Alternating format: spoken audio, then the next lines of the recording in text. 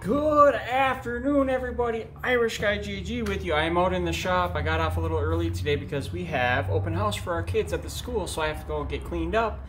And then we have a charity bike run this this evening that I'm going to be partaking in as well. So welcome to the channel. I want to get a message out. I try to get a message out every day, whether it's recovery, talking about uh, God's word, living in in in sobriety, reading from the Bible. We got lots of things that we do on this channel, and I'm telling you guys even though these messages are important and, and I love giving them and it's it's nice to get the likes and, and all the whatever. It doesn't get shared much but the likes the comments new people that have subscribed God bless you in the name of Jesus. Thank you for giving me the time of day to teach you to let you watch me teach myself as well as everybody else what's in God's Word because you know what? It's as easy as, as turning your phone around, opening up your Bible, and sharing it with other people. And I know not everybody is up for doing that, but hey, it's it's a blessing in my life, and, and, and I live in recovery, so I don't foresee that changing. So as long as I am stable in recovery, stable in sobriety, living through God's Word,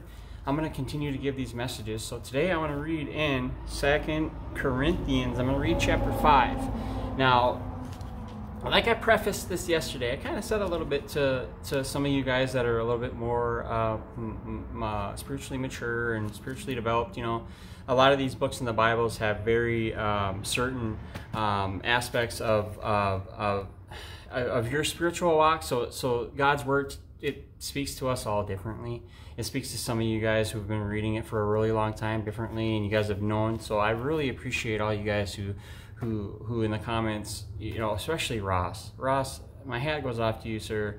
And and and, and we talk every day. Uh, I I can't I can't imagine a day that has gone by recently where I haven't spoken to Ross, and um, just it's it's it's an excellent thing because he provides a lot of wisdom on the channel and a lot of breakdown. So although I know I just kind of jump around in the Bible, but most of these things that I read from um, do have a lot of purpose in my life, and, and one way or another, I like sharing it with you. So thank you guys for listening.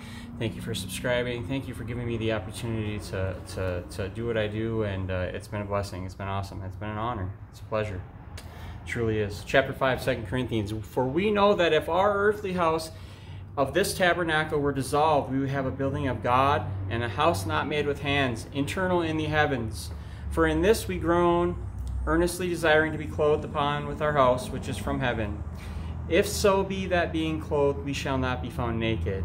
For we that are in this tabernacle do groan, being burdened, not for that we would uh, be unclothed, but clothed upon, that mortality might be swallowed up of life.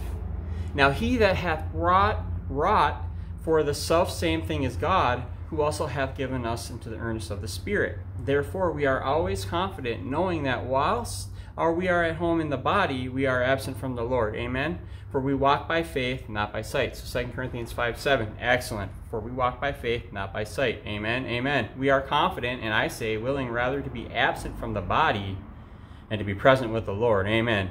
Whether we labor, that whether present or absent, we may have accepted him, be accepted of him. For we must all appear before the judgment seat of Christ that every one may receive the things done in his body according to that hath done, whether it be good or bad. Knowing therefore the terror of the Lord, we persuade men, but we are made manifest unto God, and I trust also are made manifest into your consciences. For we commend not ourselves again unto you, but give that you occasion to glory our, on our behalf, amen, that ye may have somewhat to answer them which glory in appearance and not in heart. For whether we be beside ourselves, is it to God, or whether we be sober, is it to your cause? For the love of Christ constraineth us, because we thus judge that if one died for all, then we're all dead, and that he died for all, that which lived, they which lived should not henceforth live unto themselves, but unto him which died for them and rose again. Amen. Amen. Wherefore, henceforth, know we no man after the flesh. Ye though we have known Christ after the flesh, yet now henceforth know we him no more. Therefore, if any man be in Christ, he is a new creature. Amen. Old things are passed away. Behold, all things have become new. That's a good that's a good one as well. Second Corinthians chapter 5, 17. Therefore, if any man be in Christ, he is a new creature. Old things are passed away. Behold, all things become new. Are become new. And all things are of God, who hath reconciled us to himself by Jesus Christ, and hath given to us the ministry of reconciliation. To wit, that God was in Christ reconciling the world unto itself, himself, not imputing their trespasses unto them, and hath committed unto the word of reconciliation. Now then, we are ambassadors for Christ, as though God did beseech you by us. We pray you in Christ's stead, but ye reconciled to God. For hath he hath made him to be sin for us who knew no sin, that we might be made the righteousness of God in him. So Second Corinthians chapter 5, the whole one, the whole chapter. Amen. Amen. I love you guys. All the blessings and all the everything that I want for you guys out in in the YouTube world and everybody that I have a personal connection with, everybody that's commented, everybody that, that stays on the channel. I want you guys to be blessed in the name of Jesus, walking by faith, not by sight alone, you guys. We are walking with the Lord. Let Him lead. We follow. Let Him teach. We preach. He teaches us, then we preach, and we, we learn it through God's Word. So, I'm a little tired, you guys. I've had a long, long couple of weeks. We've been on this job for three three weeks now. It's just been a nonstop grind of go, go, go, and the heat here. It's 90 today, and it's just been ugh. But I have faith that Jesus Christ is going to see me through and that I'm not doing all this in vain. I'm making a paycheck, I'm supporting my family, I'm getting out in the world, I'm seeing people, and I'm outreaching to other people any way and every which way I can. If I see somebody down and sitting in their vehicle, I seriously will walk up to them and ask them for if they're okay. I will hand out Bibles. I will make sure that there's some of my cards, my ministry cards, I will leave them in the bathrooms at gas stations because you know, and you want to know where I leave them, you guys? I leave them by the needle dispensary in the Uh, in the bathrooms. I don't go in the women's, obviously, but in the men's, I go in the men's and I leave a couple a couple cards or a stack on there because you know what? People that are using, I used to use those needle trays. I used to go into gas station bathrooms, public, private, didn't matter, anywhere to get your fix and get out your spoon and get out your needle and do that sort of dirty deed, right? We had we had to have an opportunity or a place to do that, and that's where it was. So I'm having an opportunity to walk in there without all that garbage in my body, on my mind, in my pocket, anywhere near me. And I am walking in there with a ministry card, hoping that somebody, anybody, anybody, in the name of Jesus, please let anybody pick up those those cards or one card and, and find the message that comes through this channel, not from me, but through the Father through me to you guys and find that message and find sobriety or find a reason to live. Jesus is that reason to live. He is the reason to be sober and live in recovery.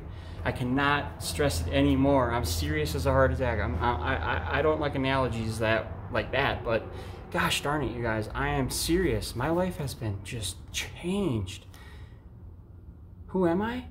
I am somebody in Christ. I've been reborn. I've been renewed. My faith has never been stronger. It's never been bigger. It's never been more firm in the Lord. So if you guys find inspiration in these messages, if you guys find inspiration in everything that we do on the channel, please hit the like button, share it, let people know that there's there's people out here that are trying to give out hope, trying to give out inspiration, trying to give out, you know, trying to make you guys complete through God's word. I'm trying to help you guys find Jesus to, to put that last puzzle piece in together for your life so you guys can and a lot of you guys have found Christ. So some of these messages are just geared towards those people who haven't found Christ yet who are still out on the streets, under the bridge, putting needles in their arms, a bottle to their mouth, whatever it is, those are the people that I want to hear this message. So if you know somebody out there still sick and suffering, please pray for them first and foremost. Get that out of the way. Stop what you're doing and pray for people people need prayer. God wants to know your love for other people. And when you're when you're praying and when you're showing that faith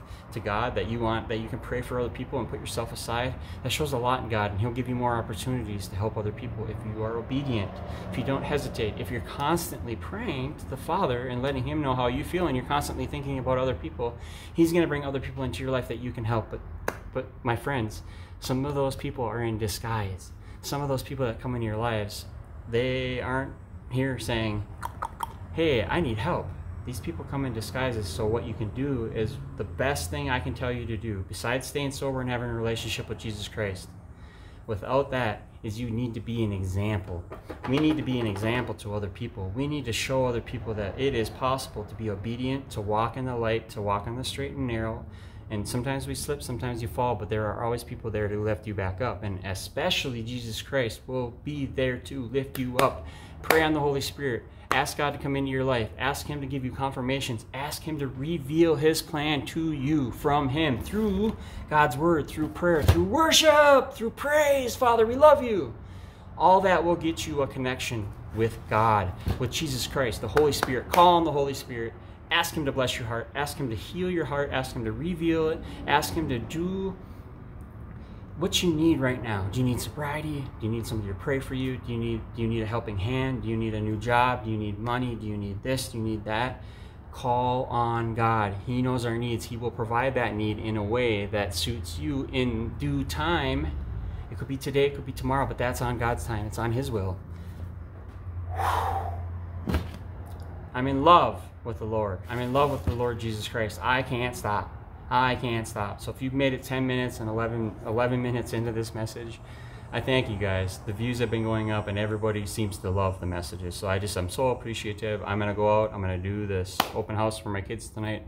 And I'm going to go out and do this, uh, this bike run and uh, hope to have a safe ride tonight. So you guys, God bless you all in the name of Jesus. If you need anything, you can email me at irishguyjg jg at yahoo.com. And if you've made it this far in the message, you guys, tell me down below what you guys are grateful for. Tell me what you guys are grateful for. Did somebody in your life recently find Jesus? Do you know somebody that needs prayer to find Jesus? Tell me what's going on in your life in the comments. I love to hear what's going on and I love to pray for other people. I love to sit there, write these things down, write down names, write down dates, write down names and people of that are affiliated with them. Like say, you know, Bobby says that we need to pray for Mary. I write on all those names and I pray for them people specifically. And we send out a prayer list on Tuesdays. This last Tuesday, I didn't get one out, you guys. I apologize. But the the weeks prior, we send them out every other week. So we have two weeks of prayer list of people to pray for. So if you pick a person each day, you should have plenty of people to pray for each day. So I love you guys. God bless you.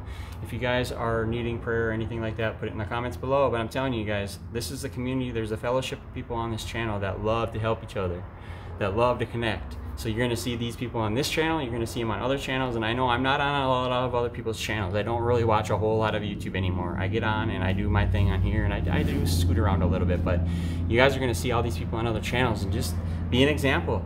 Look at what we do on other people's channels, because it all reflects how, who we are, and who we are is we're in Christ's name. We're examples of Christ's name if you're a believer. So God bless you. I'm praying for all you people, and I want to just one one one last thing I want to tell you guys is that we don't ever know the future. We don't ever know what what's going to come or what's going to be come around the corner. So if you get in the habit of doing what's right every single day, you don't ever have to worry about what's coming around the corner because you know that God has your back. If you're doing His will and being obedient, there are going to be people that come into your lives that you would think that, oh, I'll never be friends with that person. Oh, that person is this, that person is that. That is called judgment, my friends.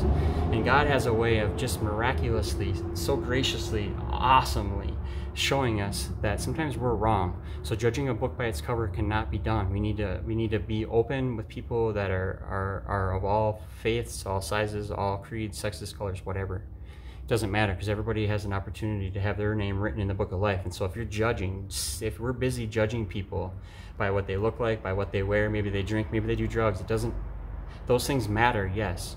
But in the grand scheme of things, we're looking to get people's names written in the book of life because that's what Jesus wants us to do. We need to be stewards of his word and go out and find people for him.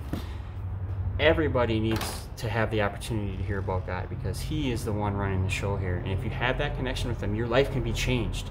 I used to be a down good, no no good, rotten scoundrel, drug using anything and everything. Okay, now I'm somebody who I'm I'm a reputable person. I'm not anywhere near as where I would like to be. But God has given me a second chance, and that what what this channel is about. So if this message has inspired you or it's given you some sort of hope, thank you. Like, share, subscribe, do all that stuff. I'm so blessed. I know these serious these messages can be serious, you guys, but there's somebody out there that needs to hear this whole 15 minute message that might be like, oh my gosh, pray for me. You know, whatever you guys get out of these messages. I hope it's something. I just, I, I just hope and I pray in the Lord's name that you guys are getting something out of these messages. So, love you guys. God bless you all. Pray for a safe ride tonight. God bless.